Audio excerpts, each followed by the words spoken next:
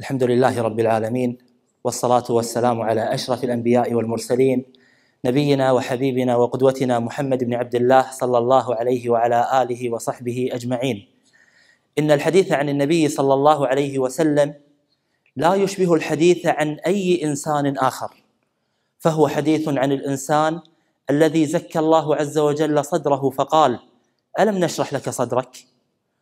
وهو حديث عن الإنسان الذي زكى الله عز وجل بصره فقال ما زاغ البصر وما طغى. وهو حديث عن الإنسان الذي زكى الله عز وجل عقله فقال ما ضل صاحبكم وما غوى. وهو حديث عن الإنسان الذي زكى الله عز وجل لسانه فقال وما ينطق عن الهوى إن هو إلا وحي يوحى. وهو حديث عن الإنسان الوحيد الذي أقسم الله عز وجل بحياته ولا يقسم الله إلا بعظيم. قال جل وعلا لعمرك إنهم لفي سكرتهم يعمهون. وهو حديث عن الإنسان الذي زكاه الله عز وجل كله فقال وإنك لعلى خلق عظيم. يقول الإمام ابن أبي العز الحنفي شارح الطحاوية النبوة إنما يدعيها أصدق الصادقين أو أكذب الكاذبين. ولا يلتبس هذا بهذا إلا على أجهل الجاهلين. ومن الأمور التي لا تخفى على كل قارئ لسيرة النبي صلى الله عليه وسلم وضوح حياة النبي عليه الصلاة والسلام. حتى قال القائل من يقرأ حياة محمد يشعر أن بيته كان من زجاج ويقول آخر كأن محمدا كان يعيش تحت قرص الشمس. ويقول المؤرخ الفرنسي جوستاف لوبون نعرف ما فيه الكفاية عن حياة محمد أما حياة المسيح فمجهولة تقريبا. النبي صلى الله عليه وسلم لو نظر الناظر إلى سيرته سيجد أن كل هذه الحياة مثال ونموذج للصدق.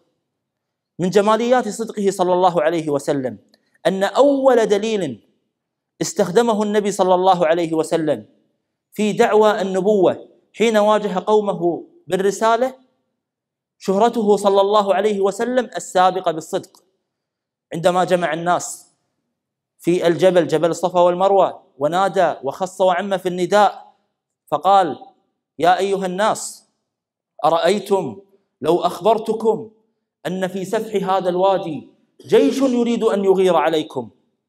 أكنتم مصدقي؟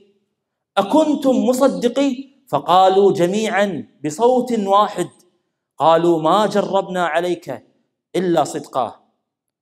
قل لي بربك إن كانت سيرة النبي صلى الله عليه وسلم صالحة بأن تكون دليلا على نبوته قبل نزول الوحي وقبل أن يخلو بجبريل وقبل أن يعرج به إلى السماء فيرى من آيات ربه الكبرى.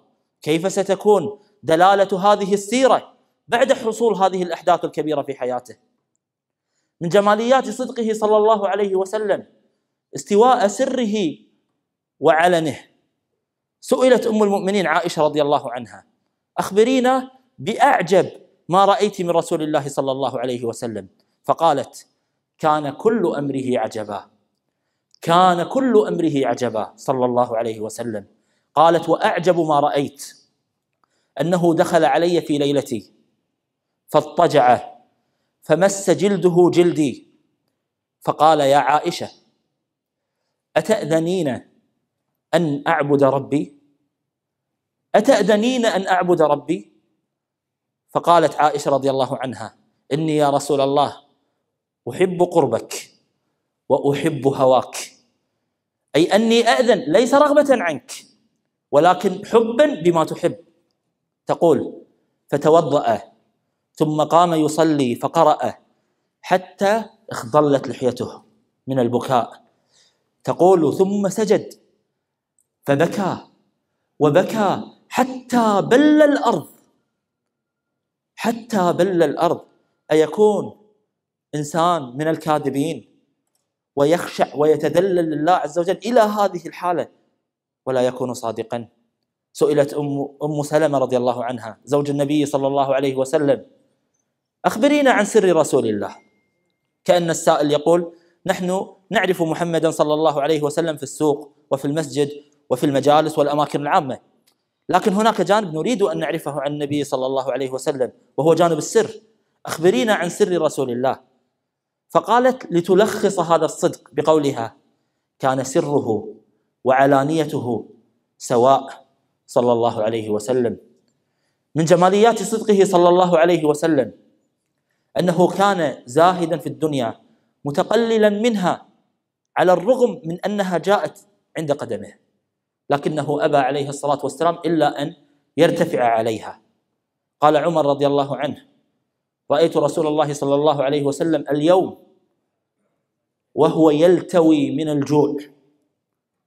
وهو يلتوي من الجوع. وهو الذي عرض عليه الملك والمال في مكة. وقالت أم المؤمنين عائشة رضي الله عنها ما شبع آل محمد صلى الله عليه وسلم ثلاثة أيام مذ قدمنا المدينة ومن جماليات صدقه صلى الله عليه وسلم. أنه كان ينكر المنكر حتى لو كان بإمكانه أو لو كان مع أن هذه المواقف التي ربما تكون كان بإمكانه أن يستفيد منها لصالحه لكنه حاشاه أن يقبل لنفسه بالكذب وهو المعروف بالصدق والأمانة قبل النبوة.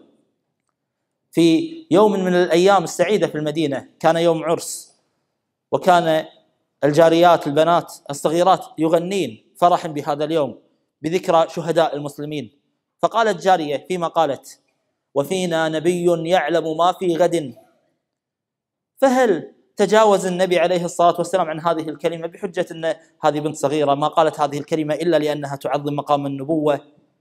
أو اليوم عرس قال عليه الصلاة والسلام مباشرة لا تقولي هكذا.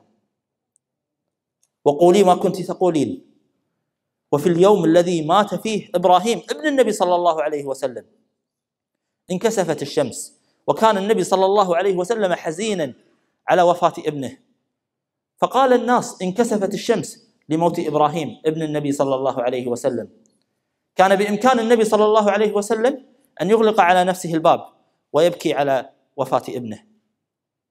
وطالما أنه لم يأمر الناس بهذا القول ولم يدعي هذا الادعاء فيكفي أن يترك الناس.